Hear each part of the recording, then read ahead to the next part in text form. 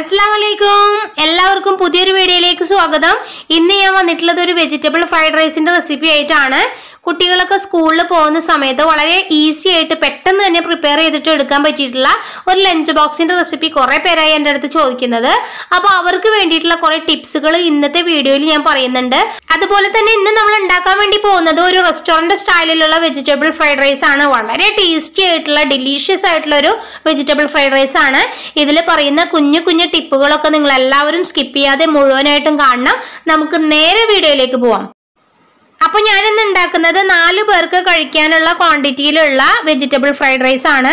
അതിനായിട്ട് half K G basmati rice നന്നായിട്ട് കഴുകി ഇരുപത് മിനിറ്റ് വെള്ളത്തിൽ കുതിർത്ത് വെച്ചതിന് ശേഷം വേവിച്ചെടുത്തതാണ്.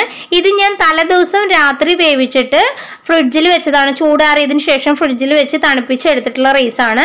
അപ്പൊ നമ്മൾ കുട്ടികൾ സ്കൂളിൽ പോകുമ്പോൾ കൊടുക്കാനായിട്ടാണ് ഇത് പ്രിപ്പയർ ചെയ്യുന്നതെങ്കിൽ തലേദിവസം രാത്രി ഇതൊന്ന് വേവിച്ചിട്ട് ഫ്രിഡ്ജിൽ വെക്കുകയാണെങ്കിൽ പിറ്റേ ദിവസം രാവിലെ നമുക്ക് വെജിറ്റബിൾ ഫ്രൈഡ് റൈസ് ഉണ്ടാക്കുമ്പോൾ വളരെ ഈസി ആയിട്ട് പെട്ടെന്ന് തന്നെ ഉണ്ടാക്കിയെടുക്കാനും പറ്റും. അതുപോലെ തന്നെ അരി ഒന്നും കുഴഞ്ഞു പോവാതെ നമുക്ക് ഈ ഫ്രിഡ്ജിൽ വെക്കുന്നത് കൊണ്ട് അരി ഒട്ടും തന്നെ ഒട്ടിപ്പിടിക്കാതെയും കുഴഞ്ഞു പോവാതെയും നമുക്ക് ഫ്രൈഡ് റൈസ് റെഡിയാക്കി എടുക്കാൻ പറ്റും.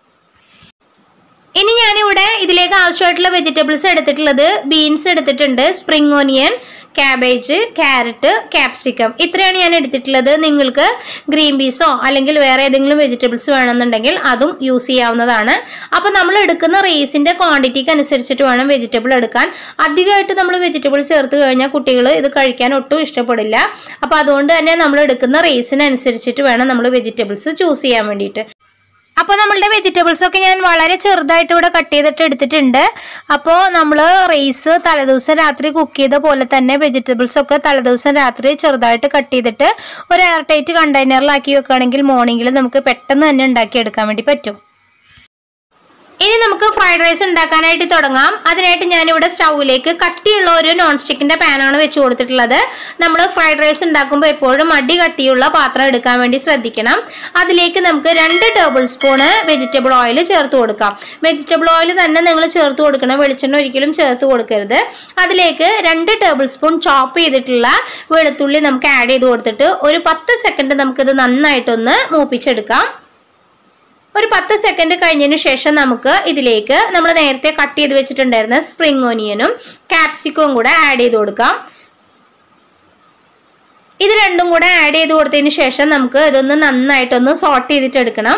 അപ്പോൾ നമ്മൾ ഇതിലിടുന്ന വെജിറ്റബിൾസ് ഒന്നും അധികം വെന്ത് പോകാൻ പാടില്ല. അപ്പോൾ ഇത് നമ്മൾ കുറച്ച് ഒരു മുപ്പത് സെക്കൻഡൊക്കെ നന്നായിട്ട് ഇതൊന്ന് സോട്ട് ചെയ്തിട്ട് എടുക്കാം.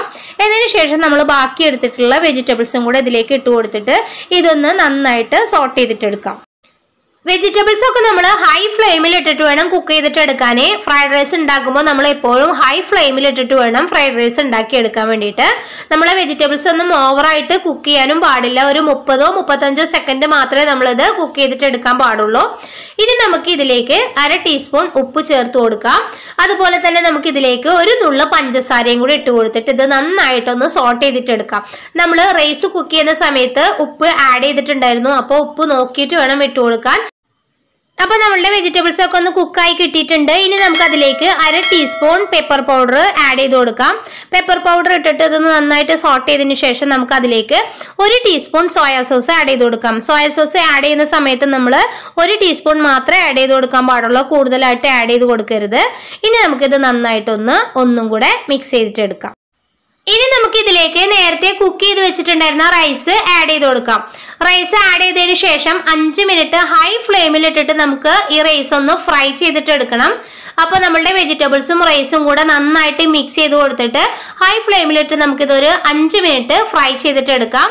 നമ്മൾ റൈസ് കുക്ക് ചെയ്യുന്ന സമയത്ത് എൺപത് ശതമാനം മാത്രമേ റൈസ് കുക്ക് ചെയ്തിട്ടുണ്ടായിരുന്നുള്ളൂ. നമുക്ക് ഈ അഞ്ച് മിനിറ്റിൽ ഈ റൈസിനെ നന്നായിട്ടൊന്ന് സോഫ്റ്റ് ആക്കി എടുക്കണം. ഓവറായിട്ട് കുക്ക് ചെയ്തിട്ട് റൈസ് ഇങ്ങനെ മൂരച്ചതുപോലെ ആക്കരുത്. അപ്പോൾ നമുക്ക് ഇത് അഞ്ച് മിനിറ്റ് ഒന്ന് നന്നായിട്ട് ഫ്രൈ ചെയ്തിട്ട് എടുക്കാം. ഇപ്പൊ നമ്മളുടെ ഫ്രൈഡ് റൈസ് ഇവിടെ ഓൾമോസ്റ്റ് റെഡി ആയി കിട്ടിയിട്ടുണ്ട്. ഇനി നമുക്ക് ഇതിലേക്ക് ഒരു ടേബിൾ സ്പൂൺ നല്ലെണ്ണ ഒന്ന് സ്പ്രിങ്കിൾ ചെയ്ത് കൊടുക്കാം.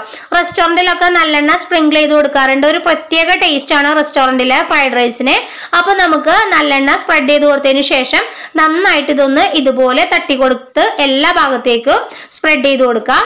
ഇനി നമുക്ക് ഇതിന്റെ ഗാർണിഷിംഗ് പരിപാടി മാത്രമേ ഉള്ളൂ. നമ്മൾ സ്പ്രിംഗ് ഒനിയൻ വെച്ചിട്ടാണ് ഗാർണിഷ് ചെയ്യുന്നത്.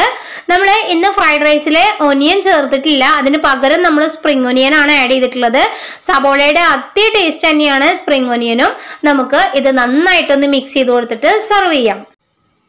അപ്പൊ നമ്മളുടെ restaurant സ്റ്റൈലിലുള്ള easy and quick vegetable fried rice ഇവിടെ റെഡി ആയിട്ടുണ്ട്.